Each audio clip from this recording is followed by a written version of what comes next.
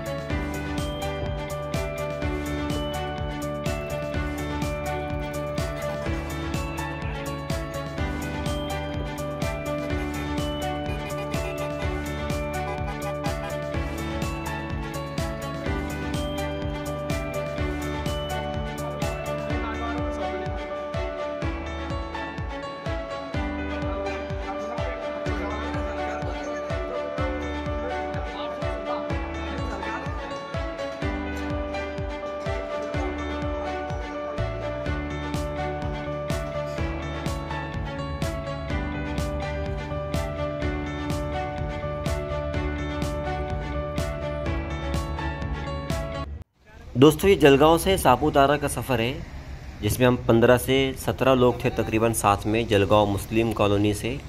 तो माशाल्लाह बहुत अच्छा सफ़र रहा। इसकी रुदा सुनिए। बिस्मिल्लाहिर्रहमानिर्रहीम। लना।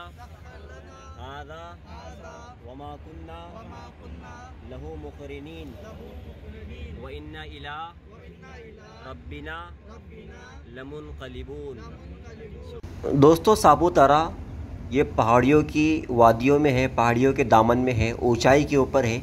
यहाँ पर ठंड बहुत ज़्यादा होती है, हरियाली यहाँ पर बहुत ज़्यादा है, बारिश बहुत ज़्यादा है और बरसात का जो मौसम होता है, उस वक्त में यहाँ का नज़ारा देखने के काबिल होता है, माशाल्लाह। और इतनी यहाँ पर धुआरी होती है कि करीब से जो आदमी खड़ा है, वो आपको नज़र आएगा, दूर से आपको कोई नज़र नहीं आएगा। तो माशाल्लाह, टावेरा गाड़ी हमारे अब्दुलरहमान जो दोस्त है उनकी ये टावेरा गाड़ी थी। बहुत अच्छी गाड़ी ड्राइव करते हैं।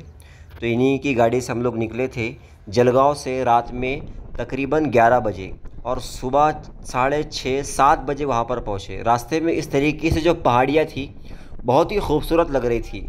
और जब सापूतारा पहुँचने के करीब हम आ गए तो इस तरीके से वहाँ पर बिल्कुल इतनी ज़्यादा सर्दी थी कि धुआरी हर तरफ़ नज़र आ रही थी और गाड़ी की लाइट शुरू ही रखना था। उसको बंद नहीं करना था, क्योंकि कुछ नज़र नहीं आ रहा था। ये देखिए आप दामन में, यानी नीचे बाजू में बिल्कुल नीचे इतनी सफ़ेद धुआरी है कि अंदर की हरियाली बिल्कुल नज़र नहीं आ रही है, और ये कांच में से तो आगे की गाड़ी भी नज़र नहीं आ रही है।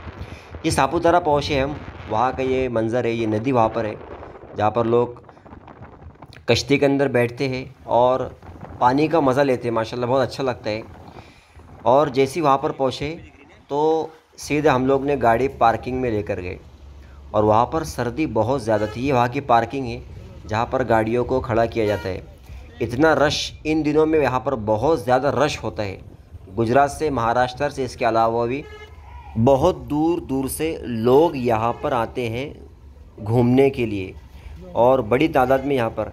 लेकिन सबसे ज़्यादा जो मिस आप करेंगे चाय को। सर्दी इतनी ज़्यादा होती है कि उतरती ही आपको लगेगा कि मुझ, बस मुझे चाय मिलनी चाहिए। तो माशाल्लाह एक जगह हमें बहुत अच्छी चाय मिल गई। बहुत अच्छी इन्होंने अदरक वाली चाय हमें पिलाई, इनका भी शुक्रिया। तो चाय के बगैर आप यहाँ रह नहीं सकते। उसके बाद जो ऊपर का मंज़र है ना, वहाँ पर हम लोग गए जो बिल्कुल पहाड़ियों के ऊपर है। ये हमारे साथ के जो बच्चे थे तो ये इस तरीके से यहाँ पर ऐसा बनाया हुआ है। और ये जो पीछे आप दुआरे देख रहे हैं, ये बिल्कुल पूरा पहाड़ी के नीचे की चीज़ है। उसके अंदर आप आप देखेंगे तो हरियाली आपको नज़र नहीं आएगी, सिर्फ़ पहाड़ दुआरी ही दुआरी आपको दिखेगी। घोड़े की सवारी भी वहाँ पर मैंने किया माशाल्लाह और कुछ साथियों ने भी किए। बहुत अच्छा लगा। ये जो ये ऊपर का ही मंज़र है ये जो आप देख रहे हैं ये ऊपर ही है। यानी आप जो दुआरी नज़र आ रही है इसके नीचे पूरी हरियाली है और पहाड़ों के दामन में खाई है लेकिन आपको नज़र नहीं आएँगी क्योंकि दुहारी इतनी ज़्यादा है वहाँ से भी नज़र नहीं आती। सवारी। ये हमारे भाई साहब क्या नाम है आपका? राजू। राजू भाई कब से यहाँ पर आप करते हैं? मैं यहाँ बीस साल से भाई। बीस साल से? क्या बात है? तो घोड़े को खिलाते क्या क्या? चना बाजरी गेहूँ। चना बाजरी गेहूँ। अच्छा माशाल्लाह घोड़ा है ज़बरदस्त है घोड़ा देख सकते हैं आप। तो दोस्तों घोड़े की सवारी तो सुन्नत भी है और बहुत अच्छी चीज़ है माशाल्लाह बहुत अच्छा लगा घोड़े की सवारी। राजू भाई आपने जो है तो बहुत अच्छा मज़ा दिए और आपका घोड़ा जो है वो भी बहुत खूबसूरत है बहुत अच्छा है। दोस्तों यहाँ पर इसके अलावा बच्चों के लिए बड़ों के लिए बाइक ही होती है। यानी लोग इसके ऊपर बैठते हैं और वहीं पर एक चक्कर लगाते हैं, घूमते हैं, फिरते हैं, उस पर सेल्फ़ी लेते हैं, फ़ोटो निकालते हैं, कोई वीडियो निकालता है। इस तरीके से भी लोग यहाँ पर एंजॉय करते हैं।